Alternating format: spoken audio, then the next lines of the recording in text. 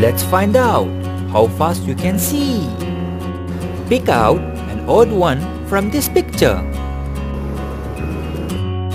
Can you find it? If yes, then write in a comment.